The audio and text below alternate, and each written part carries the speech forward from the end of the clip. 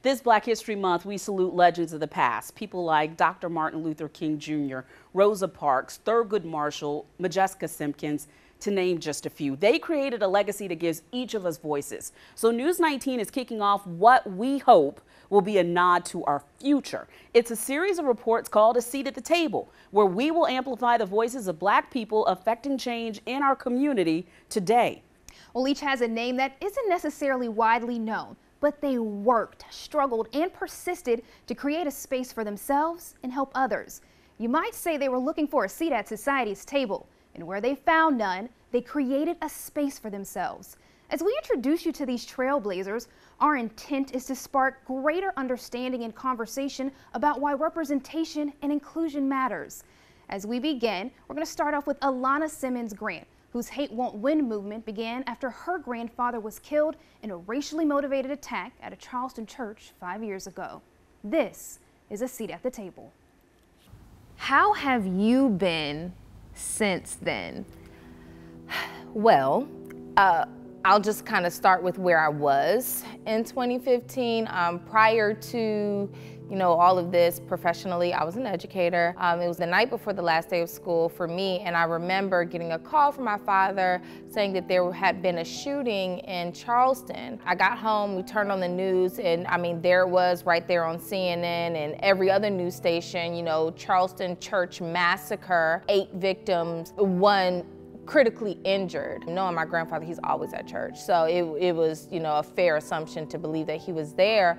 One of the things I remember praying was that my grandfather was the injured one. And that's like, how crazy is that to even consider you know, pray like, God, please let my granddaddy be the one that's injured and not one of the eight that were, was murdered. We woke up today and the heart and soul of South Carolina was broken after you've been the news, you watch it differently. I remember, you know, seeing them wheel a victim out, you know, from the church into the ambulance. And I mean, it was just like on a reel. Like I saw it every time I turned on the TV and I, I fell asleep watching the news. The next morning, it was probably six o'clock, the coroner had confirmed with my grandmother that my grandfather was indeed there. He was the injured victim, but that he passed after suffering several gunshot wounds. We hold sacred the places where people come and practice their faiths.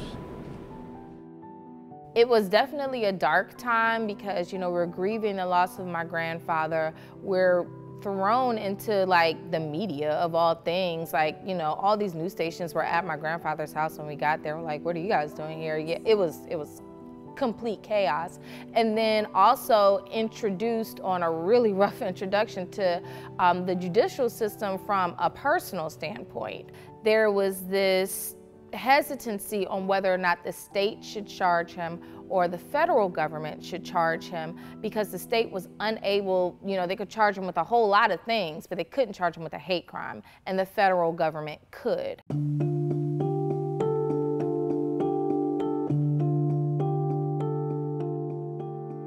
That really stalled our process, which for me personally stalled a lot of things, like my career. All rise. So at the bond hearing of Dylann Roof, when I was present, you know, you know, the judge said everybody would have a chance to address him in that moment. I told me, my, it was me and my dad and my brother. I was like, we're not saying anything. We don't have anything to say. We don't have anything good to say anyway. So that that was my original, you know, mindset going in there. And I'm a person of faith, and I remember Miss Nadine Collier. She stood up. She was in such physical pain. She lost her mother, Ethel Lance. Family members had to help her to stand up, to even walk to the podium. The first words she uttered were, we forgive you. And I was so humbled. Like, I felt this big in that moment, not because of anything else going on, but that she had, with the lack of physical strength, that she had enough emotional strength to get up and do something that nobody saw coming. I just want everybody to know, to you, I forgive you. You took something very precious away from me. I will never talk to her ever again. I will never be able to hold her again. But I forgive you. And have mercy on your soul. In that moment, it was a true testament to the kind of people we lost that day. Like, these were the kind of people who raised people who could, in their darkest moments, still exude strength. And I was just amazed by that to the point where um, when my family was um, offered the turn to speak, you know, I, I said to um, to Dylann Roof, I said, you know, although my grandfather died at the hands of hate, he lived in love and he preached love, and his legacy will be love, so hate won't win. Your name, ma'am? Alana Simmons. Thank you, Ms. Simmons, for being here. Your statement, please. Although my grandfather and the other victims died at the hands of hate, this is proof Everyone's plea for your soul is proof that they, they lived in love and their legacies will live in love. So hate won't win. And I just want to thank the courts for making sure that hate doesn't win. Everything that we do, we do out of either love or fear. For me, the choice to, to forgive was motivated out of the fear of descending into what he was, and then out of the love of Christ. It's not a forgive and forget situation. No, what he did should absolutely be, be held accountable for and um, suffer the consequences. That's just how I that's what I believe. But the way the love of Christ is, God forgives everybody for everything if they ask. Now, he didn't ask, so that's on him. But what I believe is that, you know, for me, I have to make the choice that I'm not going to turn into this. I'm not going to let what he did determine how I operate. I don't want to give anybody that kind of power over me. Before we got out the courtroom, you know, all these people were calling and texting me and saying, oh, hate won't win. I'm like, how do they know? Like, I must have talked to everybody. Um, but then I saw that it was, uh, it was on the news and I was like, oh, okay. From that, you know, this hashtag was going all over social media. It was just everywhere. And, and I decided, okay, here's now a platform. Let's add a call to action to it. We challenge people to go out, show an act of love to someone who is different from them, um, and you know, post it to their social media accounts with the hashtag Hate Won't Win. And the purpose of that was to shed some positivity on my timeline. You know, all I kept seeing were the you know, mug shots of Dylann Roof, and it literally sickened me. So I, I wanted to see something different amazing grace.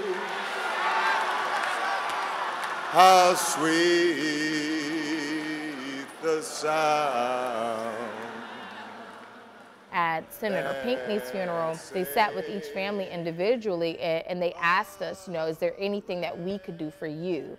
And um, you know President Obama and First Lady Michelle Obama they spoke about how encouraged they were by our families and and the same with the Bidens and you know I said well we have this hashtag if you want to participate and and we you know I didn't think he would do it, but we were, uh, you know, at dinner afterwards, and one of our friends said, "Hey, isn't this your hashtag and your T-shirt?" And I'm like, "Yeah, it is," and it just kind of took off from there.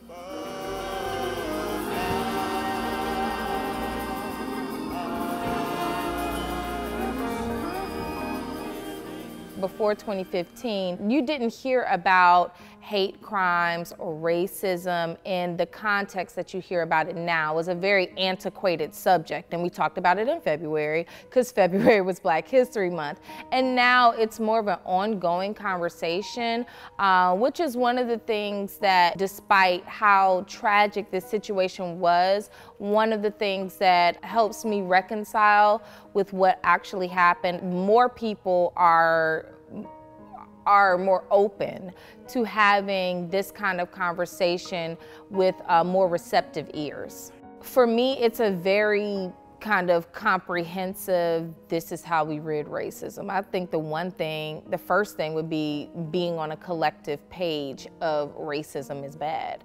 um, because that that is kind of still where we are trying to get, you know, the majority of people on the page, you know, this is bad.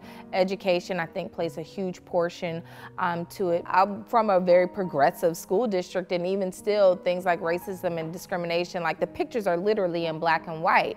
It took my grandfather dying for me to understand, wait a minute, my grandmother had to take a literacy test to vote. This is, and she's still alive and kicking. This is not that far or that long ago.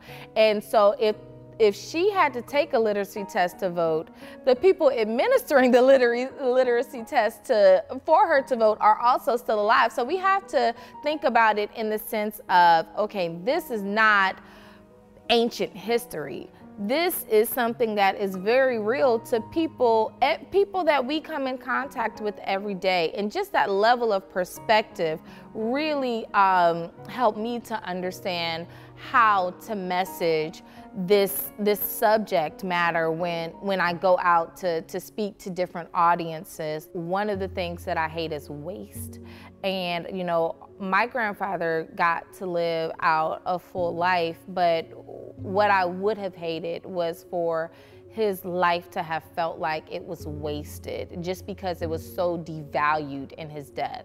And that is why this work is so important to me because it gives me the opportunity at my, you know, leisure, sometimes not at my leisure, to, to engage in what I believe would make his life more meaningful as we go along. Doing the Hate Won't Win challenge on social media was something that helped me to feel like his life was more meaningful because it, it, inspired strangers that he never would have met otherwise. And even when I, am simply recognized for the work that I do, you know, grandparents are just so proud, you know, of everything that you do.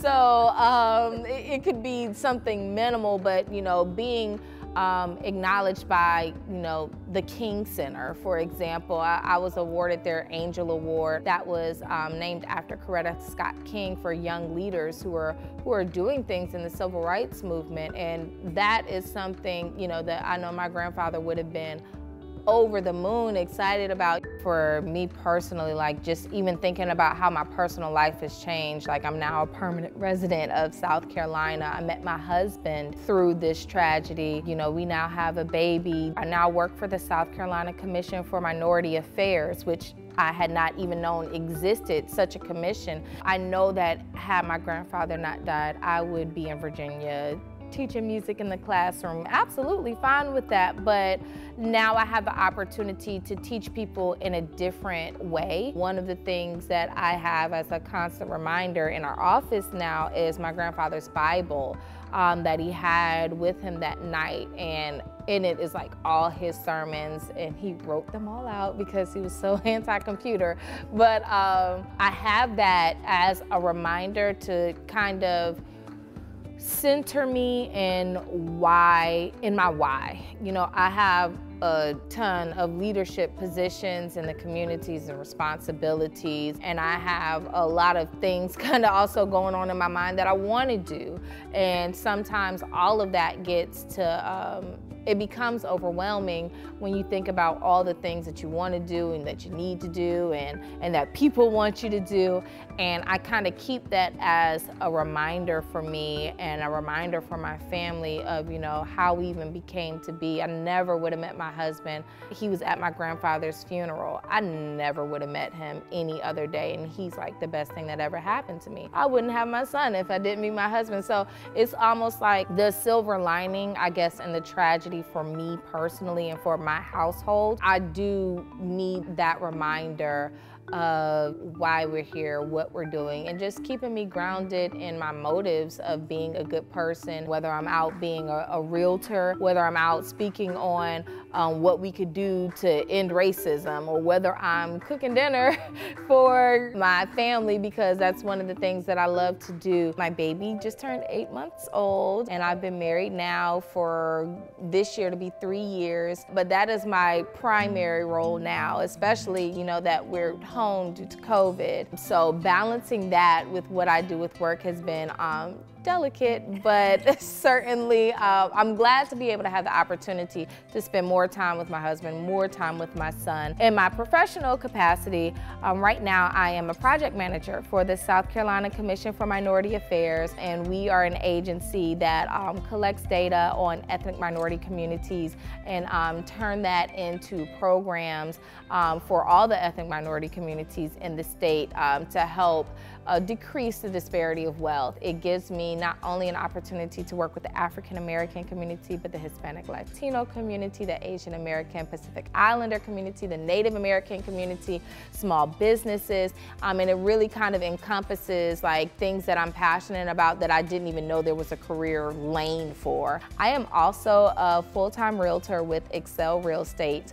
I love that as well uh, because I uh, have the opportunity to help people build wealth. And most of my buyers and sellers have been first-time home buyers and first-time home sellers. That has been really important because it's like I'm, I'm helping people start something. I'm helping people to lay a foundation. And then being able to do it for a black-owned brokerage um, is also like, again, didn't see a lot of those where I was from. Outside of that, I am the uh, former immediate vice president to the Columbia Urban League Young Professionals.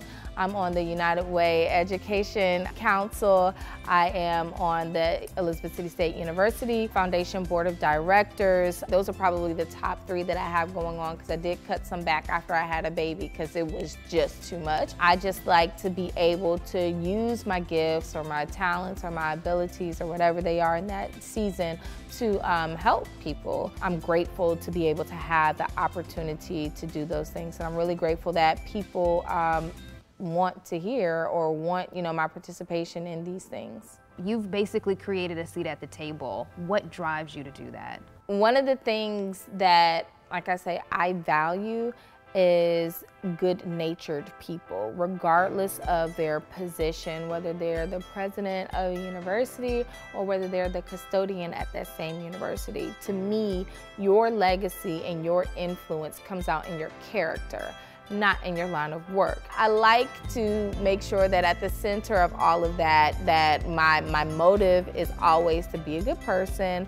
and to let my good-natured character shine through that so that people aren't necessarily attracted to the accomplishments behind me or the accomplishments behind my name, but more so the way in which I carry that.